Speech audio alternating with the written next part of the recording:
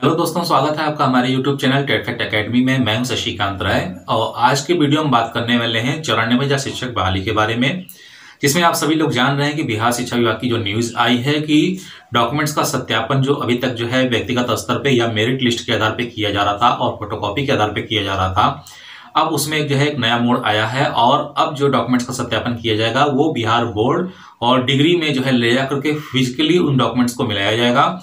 और यही काम अदर स्टेट के अभ्यर्थियों के डॉक्यूमेंट्स के साथ भी किया जाएगा, जिसके लिए बिहार शिक्षा विभाग जो है, इसने आदेश दिया है कि प्रत्येक नियोजन इकाई एक विशेष दूत को नियुक्त करेगी, जिसका काम होगा डॉक्यूमेंट्स का सत्यापन कराना और डॉक्यूमेंट सत्यापन कराने के बाद वो रिपोर्ट लाकर उसको सौंपेगी।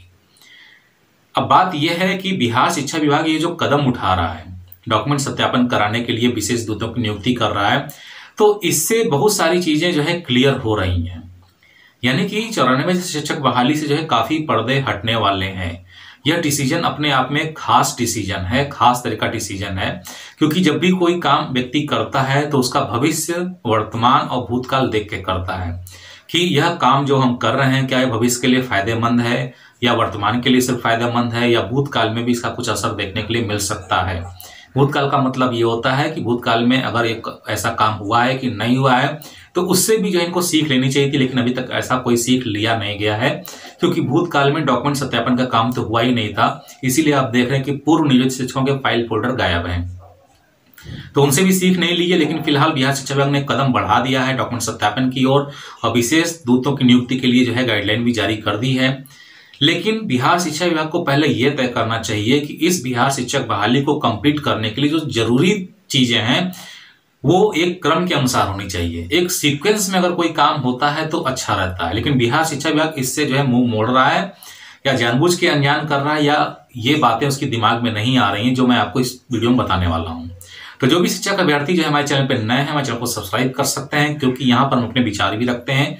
इन्फॉर्मेशन भी आपको मिलती है, और इसके साथ ही काउंसलिंग से संबंधित भी इन्फॉर्मेशन और जो मेरे अनुभव है, वो अपने अनुभव इस वीडियो वीडियो के माध्यम से शेयर करता हूँ। तो आप हमारे चैनल को सब्सक्राइब कर सकते हैं। चैनल को सब्सक्राइब करने के लिए आपको क्लिक करना हो सब्सक्राइब बटन पे।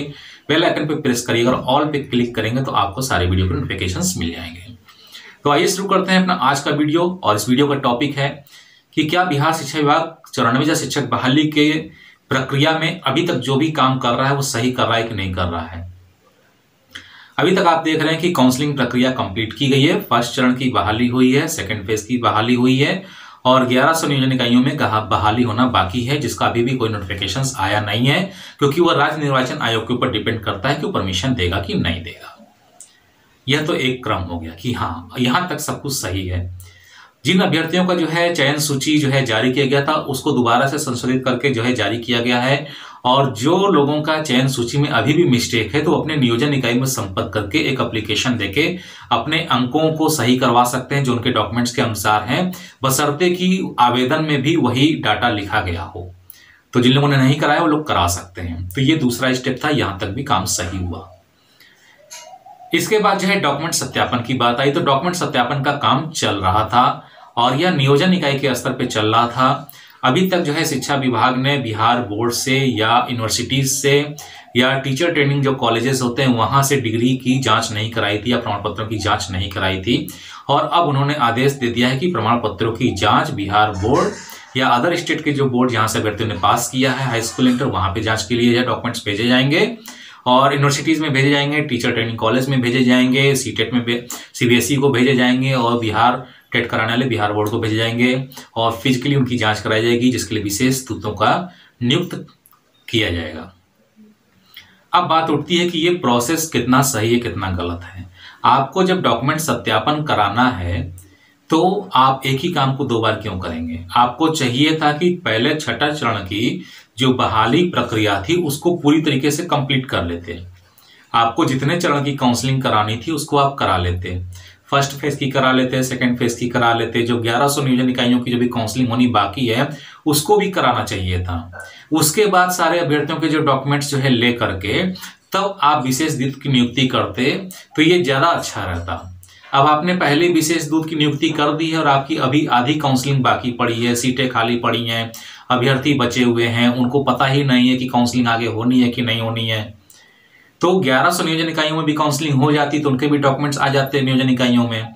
और एक साथ विशेष दूत की नियुक्ति करके वो एक साथ ले जाते तो एक साथ सारा काम हो जाता।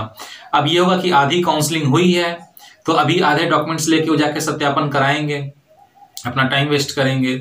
और फिर जब 1100 नियोजन इकाइयों की काउंसलिंग होगी तो फिर उन अभ्यर्थियों को लटका के रखा जाएगा, उनके डॉक्यूमेंट्स फिर उसके लिए विशेष दूत की नियुक्ति की जाएगी। तो बिहार शिक्षा विभाग को हर काम जो है सोच समझ के करना चाहिए, एक सीक्वेंस में करना चाहिए। इससे जो है समय बर्बाद हो रहा है और अभ्यर्थियों का समय खासतौर से बर्बाद हो रहा है, क्योंकि शिक्षा विभाग को तो बर्बाद नहीं हो रहा, क्योंकि भाई लोग नौकरी कर ही रहे हैं। लेकिन अभ्यर्थियों के यहाँ टाइम वेस्टेज हो रहा है, उनको इकोनॉमिकल लॉस हो रहा है, उनकी एज घट रही है। बहुत सारी प्रॉब्लम्स उनको आ रही है, क्योंकि उनके डॉक्यूमेंट्स भी जमा हैं। तो बिहार शिक्षा विभाग को चाहिए था कि पहले पूरी काउंसलिंग प्रोसेस को कंप्लीट करा लें और डिक्लेयर कर देते कि हाँ अब छठा चरण का प्रोसेस बंद हो गया है। और अब डॉक्यूमेंट्स का सत्यापन किया जाएगा। करना ये चाहिए था, लेकिन उन्होंने उल्टा कर दिया। इन्होंने एक दो चरण की काउंसलिंग कंप्लीट करी डॉक्यूमेंट सत्यापन काम शुरू कर दिया। बिल्कुल गलत किया, ऐसा नहीं करना चाहिए था। पहले काउंसलिंग कंप्लीट करनी चाहिए थी, उसके बाद डॉक्यूमेंट का सत्यापन होना चाहिए था, ताकि लोगों को जो है ये कंफर्म हो जाता कि हाँ डॉक्यूमेंट सत्यापन के बाद नौकरी मिल जाएगी। लेकिन अब तो प्रश्न चिन्ह ये लगने लगा है कि बिहार शिक्षा विभाग जो है कहीं ना कहीं चीज़ों को लटका रहा है। इतने दिन हो गए फ़र्स्ट फ़ेज़ और सेकंड फ़ेज़ की काउंसलिंग कंप्लीट हुए मुझे लगता है कि डेढ़ से दो महीने बीत चुके हैं और बिहार शिक्षा विभाग डॉक्यूमेंट सत्यापन के नाम पे इस बहाली को अभी तक लटकाए हुए था। और अब जो एक्शन लिया गया उससे ये पता चलता है कि अभी जो डॉक्यूमेंट सत्यापन किया जा रहा था वो जो है अपने स्तर पे नियोजन इकाई के कर्मचारी कर रहे थे अपने दिमाग का इस्तेमाल कर रहे थे। उसमें अभी तक कोई जो है आ, कोई बोर्ड वगैरह शामिल नहीं था कोई यूनिवर्सिटी से कोई सत्यापन नहीं किया जा रहा था। ये तो मैंने एक वीडियो बना के डाला था कि डॉक्यूमेंट का सत्यापन बोर्ड से और यूनिवर्सिटी से कराया जाए तो हो सकता हो या उनको समझ में आया कि हाँ ये भी काम करना चाहिए। काम तो करना चाहिए, काम सही है, लेकिन इतना लेट इतना लेट ये डिसीज़न क्यों लिया गया? काउंसलिंग जब आपने फ़र्स्ट फ़ेज़ सेकंड फ़ेज़ की जो है कंप्लीट कर ली थी, तभी आपको ये डिसीज़न और लेटर जारी करना चाहिए था कि जो है हाँ विशेष दूत की नियुक्ति करके ऑफ़िस के लिए कराया जाए। वैसे तो नियम नहीं है, क्योंकि नौकरी लगने के बाद ही जो है डॉक्यूमेंट्स का सत्यापन होता है ज्वाइनिंग लेटर मिलने के बाद होता है। तो ये भी एक अच्छा काम हो सकता था, या फिर आप मूल प्रमाण पत्रों से जो है जो फ़ोटो कॉपी था, उसको सत्यापित कर लेते और मूल प्रमाण पत्र उनको वापस कर देते तो अपना आगे का काम करते, दूसरी जगह जहाँ उनको कहीं नौकरी करनी होती करते। क्योंकि डॉक्यूमेंट सत्यापन में कम से कम एक डेढ़ साल से ऊपर लग जाएगा। जिस तरीके से जो है डॉक्यूमेंट सत्यापन कराया जाएगा तो मुझे पूरी उम्मीद है कि इसमें काफ़ी समय लगने वाला है बिहार सिंचाई विभाग को अभी भी समय है अगर वो ज्वाइनिंग लेटर देना चाहे तो दे सकता है और ज्वाइनिंग लेटर उसको देना चाहिए। ज्वाइनिंग के बाद भी जाँच हो सकती है। और एक चीज़ और करनी चाहिए बिहार शिक्षा को, अभी तक जो फर्जी डॉक्यूमेंट्स है, उनको जो है बिल्कुल उस पर जो है रिजेक्टेड की मुहर लगा देनी चाहिए। मैंने बार बार कहा था कि जो भी अभ्यर्थी सेलेक्ट हुए उनके टीईटी के सर्टिफिकेट के पीछे, जो बिहार टेट या सीटेट का है, उसके पीछे जो है सेलेक्टेड की मुहर लगा देनी चाहिए थी। और अब मैं फिर कह रहा हूँ कि जितने भी फर्जी सर्टिफिकेट पकड़ा रहे हैं, उन सबके पीछे रिजेक्ट, रिजेक्शन की जो है मुहर लगा देनी चाहिए कि रिजेक्टेड, सर्टिफिकेट रिजेक्टेड या फेक सर्टिफिकेट ऐसा कोई स्टैंप उस पर बना के लगा देना चाहिए, ताकि वो अभ्यर्थी दोबारा जो है शिक्षक बहाली में पैर न रख पाए। क्योंकि दोबारा जो आवेदन निकलेगा तो फिर वो आवेदन करेगा तो फिर यही काम होगा। तो कहने का मतलब कि बिहार शिक्षा विभाग को जो भी काम करना है, एक सीक्वेंस में करे, ताकि शिक्षक अभ्यर्थियों का जो टाइम लॉस हो रहा है, वो लॉस ना हो।